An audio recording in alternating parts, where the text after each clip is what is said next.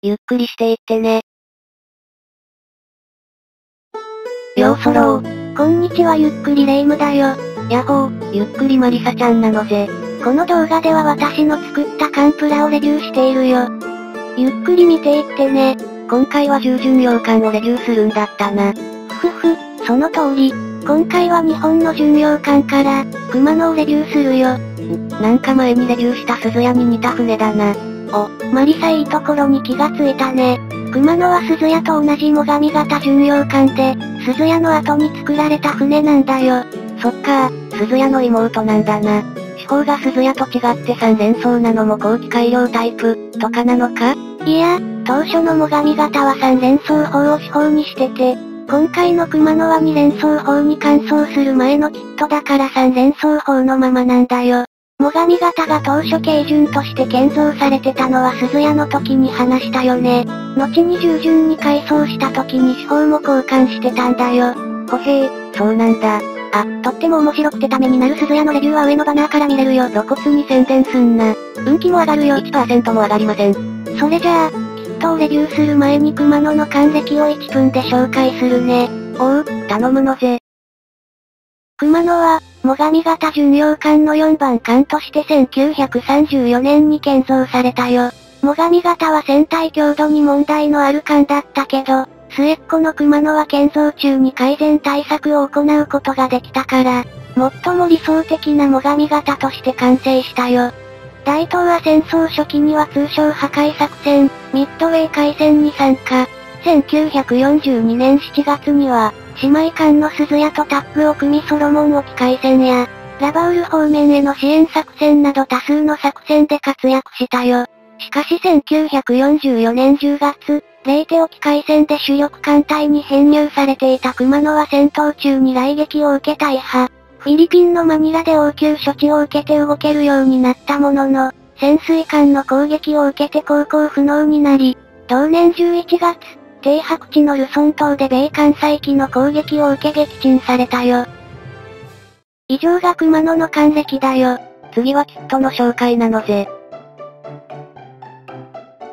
今回レビューするのは、2003年にタミヤから発売された、ウォーターラインシリーズナンバー304、日本系巡洋艦熊野、700分の1スケール、洋上型のキットなのぜ。ウォーターラインシリーズは、静岡県にある3社の模型会社が合同で発売している模型シリーズ。豊富なキットのラインナップとお財布に優しい価格が魅力のシリーズだよ。詳しく見ていくね。付属ランナーだよ。共通並走パーツを入れて6枚か、巡洋艦にしては少なめだな。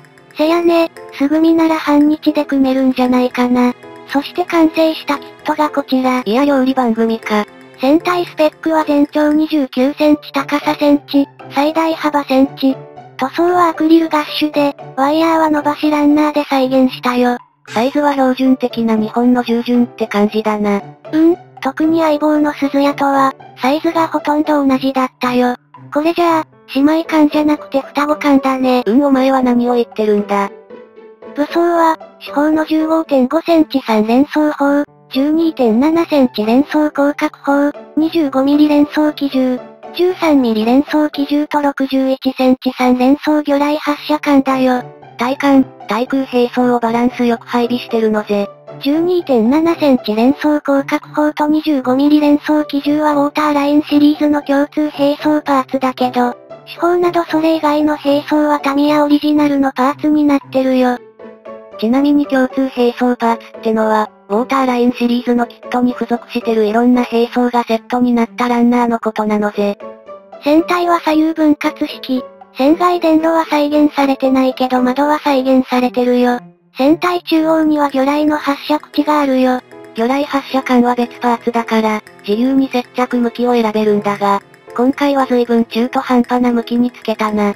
いやどっちを再現するか迷ったんだけど決められなくて、最終的にちょい見せすることで妥協したよ。優柔不断をつ。甲板上には木工甲板や鉄鋼甲板が再現されてるけど、少し古いキットだからモールドは若干薄めだね。偽装もモールドで再現されてるのぜ。最上型の特徴の一つ、三連装砲。方針と砲塔が1パーツで再現されてるよ。ディールが結構細かくて方針もシャープに成形されてるよ。方針と方針の間とかどうやって成形してるんだろう？まさにタミヤ脅威のメカニズムだね。ただ1パーツ構成だと防水符の塗装が少し大変かな。ちなみに砲塔は旋回可能だよ。次は環境なのぜ？そうなのぜ。真似すんな。最上型の環境を少ないパーツでよく再現してるよ。見えづらいけど後部の階層部分とかもしっかり再現されてて見どころの一つだよ。ただ、窓はクリアパーツじゃないのが、私的には残念なところかな。環境の内部まで再現してるけど、ほとんど見えないもんな。マストは細めに成形されてるけど、素材が頑丈でワイヤーも付けやすかったよ。アタゴに比べるとシンプルなマストなのぜ。なんで比較対象がイージス艦なの？お次は船体中央部だよ。煙突はキャップ部分が開口して再現されてるよ。パーツ同士の合いも良く、隙間もできなかったよ。煙突周りの機銃台は、滑り止めや塀がモールドで再現されてるよ。従順改装前だから搭載機銃も連装タイプなんだな。うん、戦争後期になると3連装機銃に改装されるからね。後部構造物の近くは探偵甲板と、飛行甲板になってるよ。飛行甲板のレールは、やや薄いけどモールドで再現されてるよ。関西機は共通並走パーツの95式水上偵察機を使用。フロートが別パーツになってるなかなか精巧な造形だよ。赤と白のコントラストが綺麗だな。こんな関西機あるんだ。うん、95式推定は他の動画で紹介した0式水管の全人気なんだ。三連装手法と並んで、軽順機の熊野を象徴する機体だよ。うん、そうだな。やっぱりこれ軽順だよな。な、何いきなり。いや今回レビューするのは従順だったよな。この熊の軽順じゃん。う。違うの、私が従順をレビューするって言ったのは、従順洋館に改装された元軽順。略して従順って意味で言ったのよ。いや無理やりすぎるだろ。以上がウォーターラインシリーズ、熊野のレビューだよ。少し古いトだからディテールはややあっさりしてるけど、パーツ数が少なくて組みやすい、ウォーターラインシリーズらしいキットだと思ったよ。あっさりしたキットだからディテールアップはやりやすいのぜ。従順改装後の熊野はまだウォーターライン化されてないから、タミヤさんにはぜひ現在の技術を活かして、従順改装後の鈴屋と熊野を発売してほしいね。ちなみに、機関の最上は軽順と航空巡洋艦の2種類が発売中だよ。航空巡洋艦って、またすごいロマン兵器だな。次回はどのキットをレビューするのぜ？次回は名前つながりでとある護衛艦をレビューするよ。次回は久しぶりの護衛艦なのぜ、また見てくれよな。コメント高評価いつもありがとうございます。それでは、ご視聴ありがとうございました。